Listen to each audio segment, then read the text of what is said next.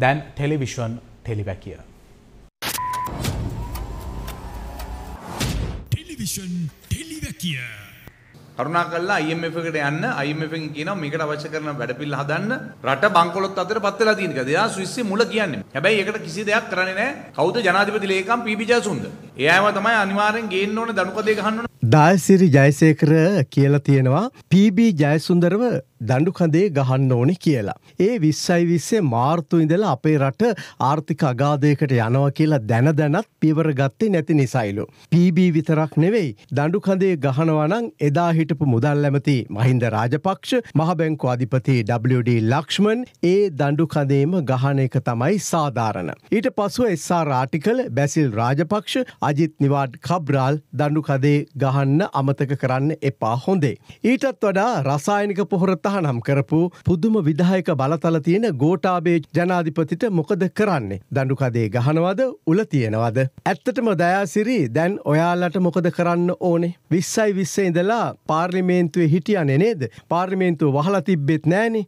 ඔය පාර්ලිමේන්තුවේ මේ ආර්ථික අර්බුදය හරියටම කතා කළේ මන්ත්‍රීවරුන් හත් දෙනෙක් නැත්තම් අට දෙනෙක් විතරයි. අපිට නම් නම් පවා මතකයි. අනිත් හැමෝම කළේ කාලබීල කුණුහරප කතා කරලා ගෙදරටත් බත්තරන් ගිය එක තමයි. අඩුම ගානේ මූල්‍ය බලය තියෙන්නේ පාර්ලිමේන්තුවට කියලා දැනගෙන හිටියද. පාර්ලිමේන්තුවට පිටින් රාජපක්ෂ පවුල තීන්දු තීරණ ගන්නකොට ඔය කැබිනට් එක ක්‍රියා කළේ මැදසාලෙ තියෙන ලී කැබිනෙට්ටුවක් වගේ. එනිසා එක අයෙකු දෙන්නෙකු පිට වරද පටවලා ගැලවෙන්න බැහැ. මේ රට මේ අගාදයට ඇදලදාපු ඔබ සියලු දෙනාම ස්වච්චාවෙන් දඩුකදේ ගහගන්න නැත්නම් කැමැත්තෙන් උල උඩ ඉඳගත්තත් කමක් නැහැ. මොකද අද අපේ රටේ ජනතාව ඉඳගෙන ඉන්නේ නිකන් උලක් උඩ නෙමේ රත්වෙච්චි උලක් මතයි. එතනට රට ඇදල දැම්මේ මේ ඔබ සියලු දෙනාම සාමුහික වගකීම අමතක කළ නිසා බව කිව යුතුයි. සමහර දූෂිත නිලධහරින් සහ සුදු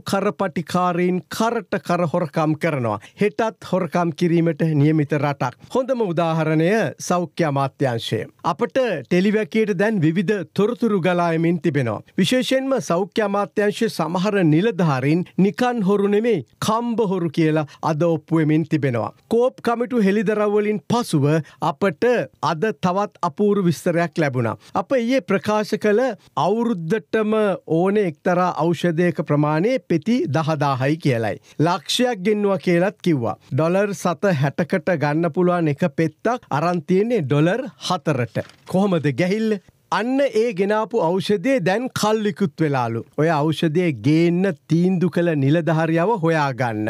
සාධාරණ පරීක්ෂණයක් තියන්න. මේ නිලධාරියගේ නම හෙළි කරන්න. වහාම එක පෙත්ත ගානේ දිනකට තුන් වරක් අවුරුද්දක් මේ නිලධහරියට බොන්න දෙන්න කියලා අපි යෝජනා කරනවා. දැන් ඇටෝව කියලා පෙත්තක් තියෙනවා. මිලිග්‍රෑම් දහය ඩොලර් සත හැටයි. මේ තමයි ජාත්‍යන්තර මුදල. මිලිග්‍රෑම් විස්ස ඩොලර් එකයි සත විස්සකට ගන්න පුළුවන්. ඇත්තම කිව්වොත් ඇටෝවා ලංකාවේ නිෂ්පාදනය කරනවා. ඒ රාජ්‍ය ඖෂධ නිෂ්පාදන සංස්ථාව. එහෙම නැත්තම් SPMC එක.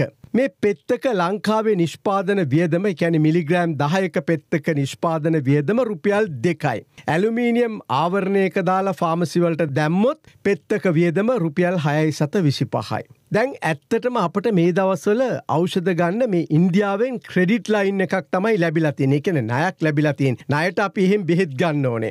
ඇමරිකානු ඩොල මිලියන එකසි හැටක් විතර ලැබිලා තියෙනවා. අපේ රටේ නිෂ්පාදනය කරගන්න පුළුවන්. අඩුම ගානට හදාගන්න පුළුවන් දැනටත් හදන ඇටෝවා. ඉන්දිය ක්‍රඩිට් ලයින් එකෙන් ගෙන්වන්න කෞද තීන්දු කරලා තියෙන්නේ.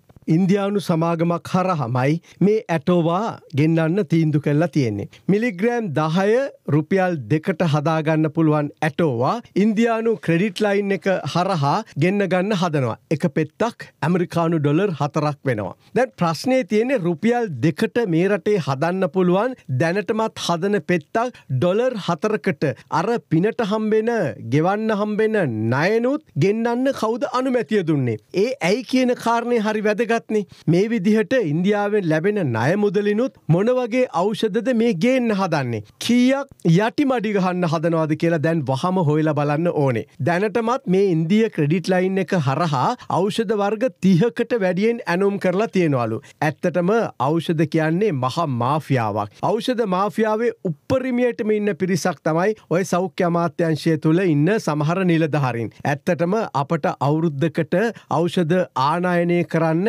අවශ්‍ය වෙන්නේ ඇමරිකානු ඩොල මිලියන දෙසිය අසුවක් විතරයි. ඉන්දිය ක්‍රඩිට් ලයින් එකෙන් මේ වනට ඇමරිකානු ඩොල මිලියන එකසිේ හැටක් විතර ලැබිල තියෙනවා නම් අපට ලොකු කාලයක් මේ ඖෂධ හිගේ මගහැරවගෙන වැඩේ ඉදිරියට අරගෙන යන්න පුළුවන්. නමුත් ඇත්තටම අත්‍යවශ්‍ය ඖෂධ ලැයිස්තුවට දාලා අනවශ්‍ය කඩිනමින් ඕනේ නැති ඖෂධ පුදුම විදිහට ගේන රටක් මේක. මේ වගේ නයක් ලැබුණ වෙලාවක ඒ ණය මුදලින්නුත් ගසා කනවනං ඇත්තටම අර හිඟන්නගේ පාතරයේ හෙන හුරා වැටන වගේ වැඩක් නෙනේද. යන්න අපායක් හොයාගන්න කියලා අපි තමුන්ලට මතක් කරනවා. අද අපේ ටෙලිවැකෙන් කියන්නේ වහාම සෞඛ්‍ය අමාත්‍යංශයේ සමහර නිලධාරින්ගේ වත්කම් හොයන්න. මේ ඖෂධ ඇනුම් කිරීමේ ක්‍රියාවලිය වහාම පුවත් පතක හෝදාලා ප්‍රසිද්ධ කරන්න. එතකොට විනිවිධ භාවේ ඇති වෙනවා. සමහරුන් ඉන්නවලු සුපිරි වාහන හතර පහතියාගෙන ඉන්න ක්ලාක්ල පවා. පුළුවන්නම් එහෙම රස්සාාවක් තියෙන තැනක් අනේ අපිටත් කියන්නකො ක්ලාක් ජොබ් එකක්වත් හවාගෙන යන්න නේද.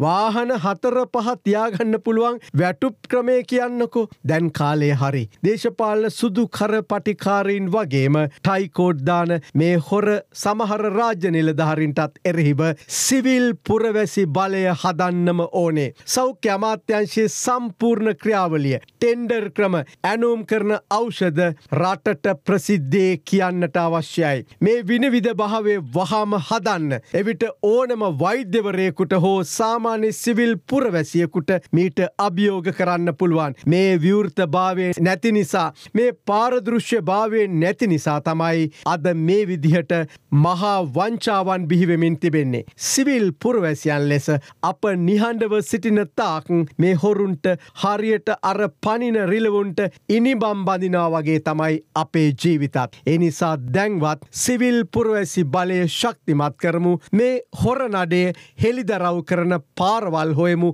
මාර්ග හදමු අලුත් සමාජ ක්‍රමයක් බිහි කරන්න අපි මුල්වෙමු කියලා යෝජනා කරනවා.